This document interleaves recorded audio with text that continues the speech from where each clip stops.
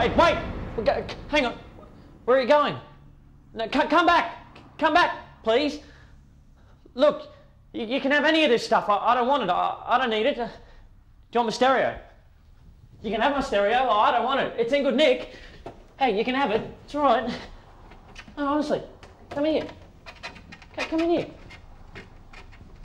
Oh, you don't look too healthy. Oh, sorry, sorry. Um, arms out. What? Arms out. Put your arms out. Here, I'll load you up with stuff. Here. Um, I'm in big trouble. Great danger. You know, you know that saying, ignorance is bliss? Well, it's a cliche, but for a reason. It's a cliche for a reason. You know that 85% of scientists, like since uh, whoever the hell the first scientist was, 85% of them are living now? Does that say something to you?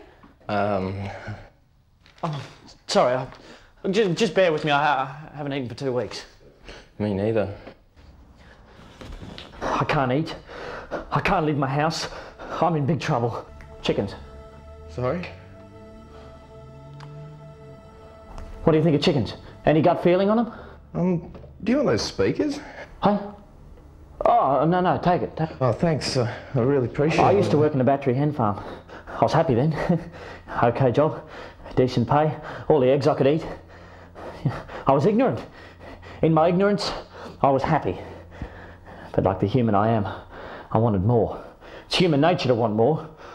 So I started stealing chooks. Started stealing them and eating them. Oh, I thought I was very clever. Took up the jumper at knock-off time, could save upwards of $5 every two days in eating expenses. But then I found out about their wings. Have you ever looked closely at a chicken wing before? Um, no.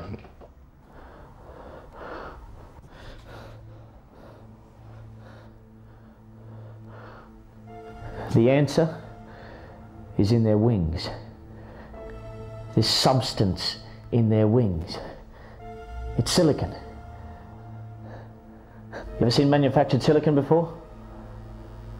This is it. So, what I'm essentially trying to say is that these chickens, these chickens we know and love and trust and eat and find even slightly comical, these chickens are not just edible birds, but, but in fact, are devices of genetic engineering sitting on the forefront of technology. Every day, this country alone consumes hundreds of tons of chicken flesh. We ingest it and we think nothing of it. But it's a controller device. Have you heard about those adolescent boys in America growing breasts from eating too much chicken?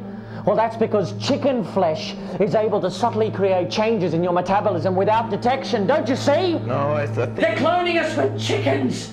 Soon we'll have no control over our own mind, no ability to think independently. All of our senses totally at the mercy of the mother chook.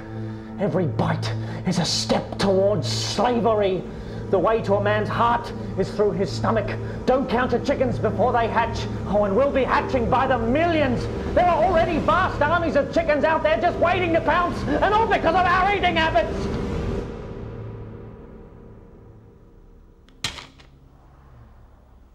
Oh, yeah, well, thank, thanks for all this. I suppose you think I'm insane.